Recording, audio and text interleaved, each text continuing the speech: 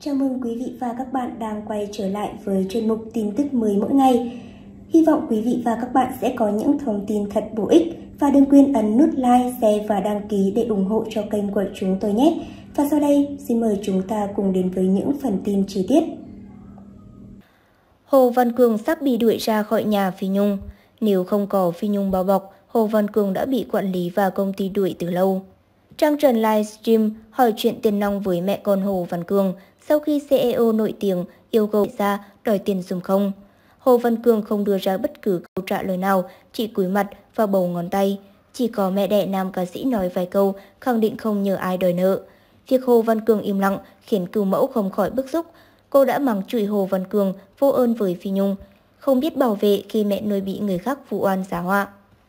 Cho tới trưa nay, Trang Trần tiếp tục có những lời lẽ gay gắt với giọng ca trẻ. Trên sóng livestream, cửu mẫu khẳng định với mọi người đã muốn đuổi Hồ Văn Cường ra khỏi nhà. Khỏi công ty từ mấy tháng này vì không có ai chở chấp loại vòng ơn bởi nghĩa. Tuy nhiên hết lần này tới lần khác, Phi Nhung luôn đứng ra bao bọc cho con nuôi. Bây giờ người ta chỉ mong xong xuôi việc bà Hằng rồi. Cũng tổng cổ mẹ con thằng Hồ Văn Cường ra khỏi nhà, không ai chở chấp loại vòng ơn bồi nghĩa đâu. Lũ cuộn con trùng mày, tượng người ta giữ lại loại vòng ơn bồi nghĩa ấy, chỉ có bà Nhung, người có trái tim bao la mới tha thứ hết lần này tới lần khác. Chứ còn những người quản lý, công ty, người ta muốn đạp cái mặt nó ra từ mấy tháng nay. Ra đường rồi, chỉ vì bà Nhung cử thương nó để nó trong nhà, chứ công ty với quản lý muốn tổng cổ nó ra từ lâu rồi. Ai có mắt có não sẽ thấy được cái cần thấy, vài trăm triệu là cái gì vậy các cưng. Dịch bệnh đuổi mày ra khỏi nhà cái gì cũng sai này, dịch bệnh đuổi mày ra lại mang cái tiếng ép chết mẹ con mày ra khỏi nhà. Nhưng cái lúc dịch bệnh, bà Nhung nằm bệnh viện, mày vẫn im mồm để cho người ta rèo tên mẹ mày. Tụi bay tưởng nó hiền à, nó là con nít quỷ, cử mẫu gai gắt. Trang Trần cũng khẳng định trước khi livestream tối ngày 9 tháng 10, cô đã lường trước được mọi chuyện sẽ xảy ra. Song chân dài vẫn quyết định làm, bởi nếu không lật mặt Hồ Văn Cương thì Phi Nhung còn bị các người chửi đến bao giờ. Đừng bao giờ nghĩ là người ta giữ mình để bao tiền, hãy xem tài năng của mình thực sự đến đâu. Trước khi hôm qua tao quay live stream đó, tao đã lại bà Nhung, em xin lỗi chị vì đã không giữ lời hứa để im cho nó, bảo vệ nó.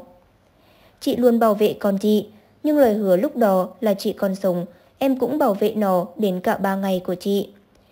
Nhưng chờ đợi nó đến bao giờ cũng không mở mồm, một câu thì giờ chị có về trách em cũng chịu, hàm oan cho chị. Suốt mấy tháng qua, ai chịu cho chị? Trước khi bấm livestream đó, tao đã biết rõ tất cả chuyện này sẽ ra nhưng tao vẫn làm. Bởi nếu không lận mặt nó, thì bà Nhung còn bị các người chửi đến bao giờ.